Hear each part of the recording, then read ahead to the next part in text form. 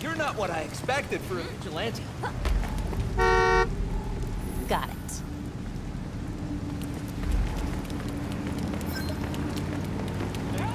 Clayface? Can you hear me?